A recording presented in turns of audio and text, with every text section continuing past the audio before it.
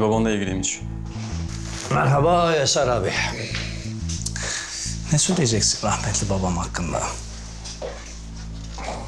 Özeldir. Devam et söyle. Rahmetli babanın kumar borcu vardı. Ee, Alacaklıları peşine düştüler. Sonra onu bulup öldürdüler. Sen böyle biliyorsun değil mi? öyleydi zaten. Öyle değil. Biz buna celal etkisi diyoruz. Nasıl? Baban kimin yanında çalışıyordu? Celal. Babanı öldüren de Celal'dır. Yoksa öyle kumar borcu, mumar borcu hikayedir. Celal.